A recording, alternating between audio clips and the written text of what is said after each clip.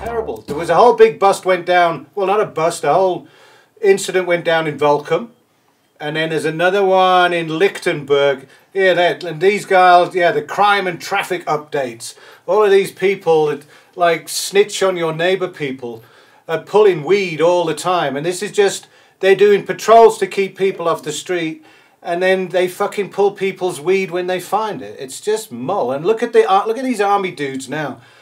What do they know about anything? They're put in this position. They're not. They're not. They're not. They're totally in the wrong job for anything.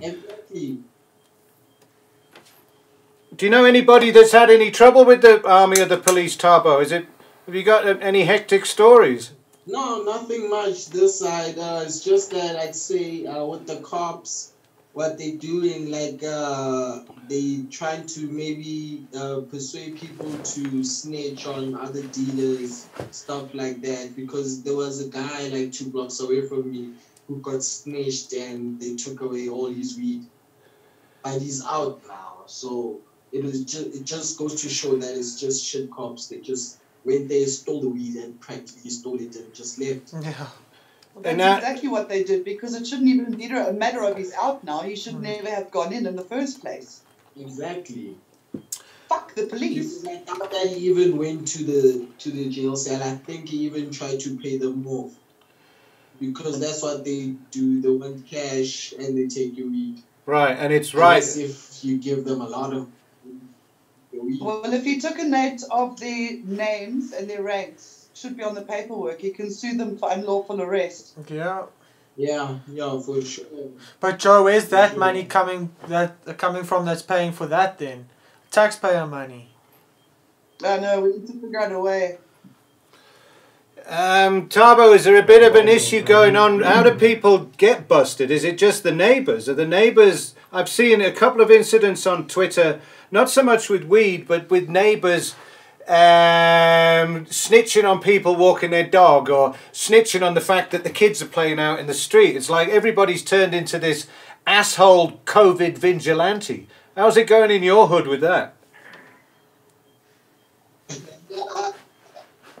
Nah, this side, nah, on my side, everything is cool. Eh? You get some kids like maybe running to the shops, going to buy a few things, coming back.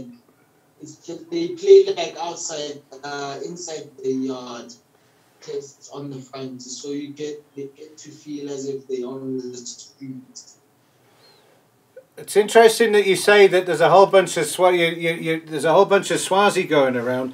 Does that mean there's still trucks coming and backies coming from Swaziland into Soweto, regardless of any lockdown? Is it uh, is it happening all the time? Is there still this huge trade going on?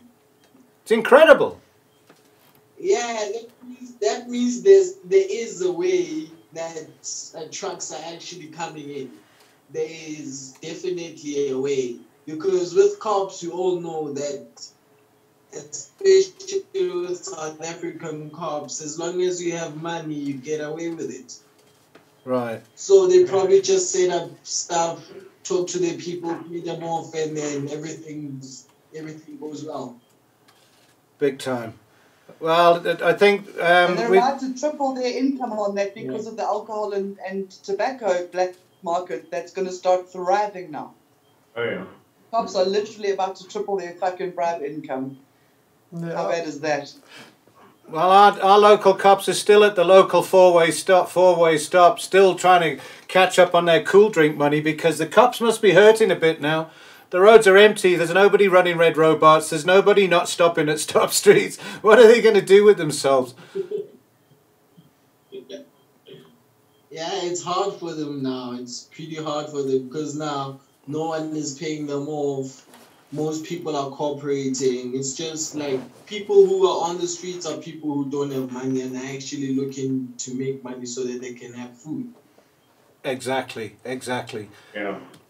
I see Jordan Curls just joined us from Swaziland. Jordan, hello, bro. I think we should have you on next week for a Swaziland update.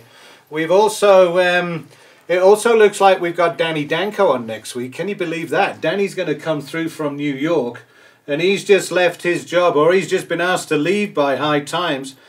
He's now not senior grower for High Times magazine anymore. They've can- canned a ton of people. They've let loads of people go. So now um, um, I'm hoping the timing's going to be right. But imagine being locked down in in um, in New York at the moment. There's fucking hundreds of deaths a day going on there. Have you seen the whole thing going on on Twitter? Have you seen the whole bunch of nutcases on Twitter going around taking photographs of everyone's hospitals? Because they're trying to prove that the hospitals are empty.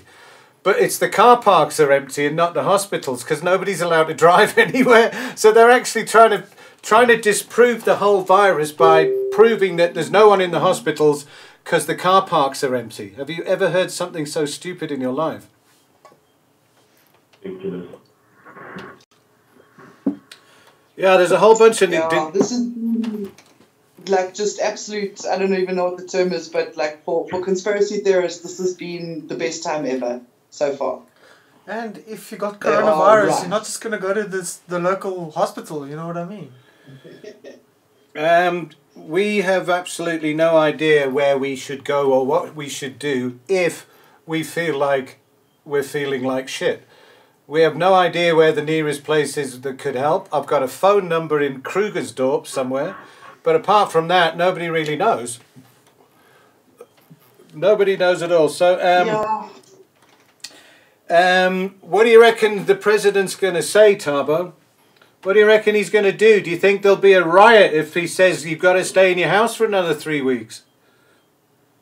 Yes, because now for me, like with the soldiers outside and police everywhere, because it doesn't make sense for them to say people should be locked out, uh, locked in, but uh, there are thousands and thousands of soldiers outside which are exposed to the virus themselves. Yes. yes. So I'm just thinking that they were actually hoping that the people will riot and then they'll start that thing of theirs of killing people because that's what they used to do it. So if Ramaphosa has to uh, extend the lockdown, then I think it's going to bring a lot of trouble. I think you're absolutely right. Um, uh, yeah, because hungry people, Jules, as you've said before, hungry people can become very angry people. Yeah, no, big time, all the time. Exactly. A Shit, level man. of desperation. there. Um, So I uh, think he should shouldn't extend the lockdown because uh, it's gonna bring big trouble. Because already a lot of businesses have have lost businesses, especially with the black market businesses. A lot of them have lost a lot of money, and they can't afford to lose more. Yeah, well, like, look, even just small businesses like Buzz. Buzz just, he's got one of the most successful head shops in the country online.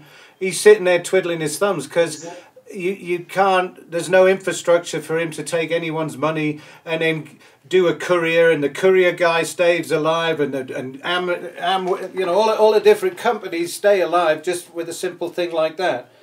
I hope he does something. Um, Somebody says here, Zolbart says there's going to be, he figures there'll be an extended soft lockdown.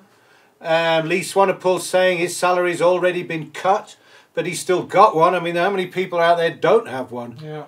We're still paying all of our staff from Fields of Green as much as we can, but we don't know how long we can do that for because we're still waiting for all our deposits to come back from from D-Days, and it's this whole chain reaction of shit that everybody's completely involved in. Gerd wants to know why the SAPS has to keep searching everybody. And he's right. What the fuck are the cops doing now? I saw a report on Twitter today that um, in the Constantia Pick and Pay in Cape Town, there are plainclothes police going in three times a day to try, to try and catch the staff out selling them something that's not an essential item. Fuck's sake! Is haven't they got anything else to do? Clearly not. Oh, That's Christ. disgusting, actually.